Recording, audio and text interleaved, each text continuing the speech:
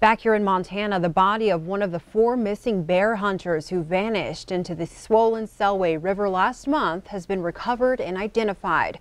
22-year-old Reese Rollins of Oregon was one of four men who vanished when their SUV ran off a Forest Service road and into the river about 50 miles west of Darby. Rollins' stepsister tells the Idaho Statesman that Forest Service employees had found his body in the river late Tuesday, about 45 miles downstream from where the accident happened on May 21st.